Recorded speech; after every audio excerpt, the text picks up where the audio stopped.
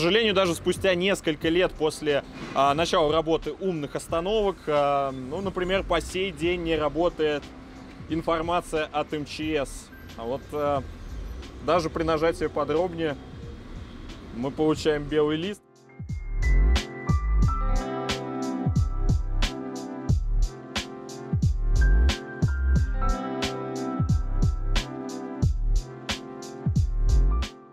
Буквально следующая остановка на улице Белинского. Здесь, к сожалению, медиаэкран не работает, разве что на показ рекламы.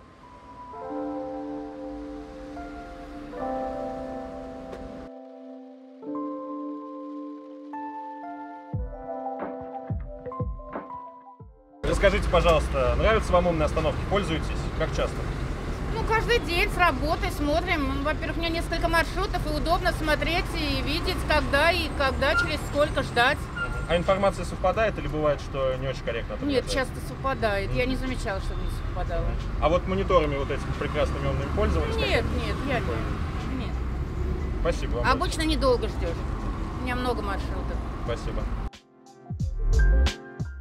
Мне кажется, что касается вот модернизации города, очень удобно.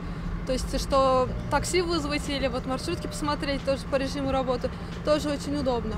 А совпадает информация с реальностью? В основном, да, в основном совпадает, очень удобно пользоваться. И облик города тоже как-то хорошо смотрится. Мгм. Современно, очень удобно.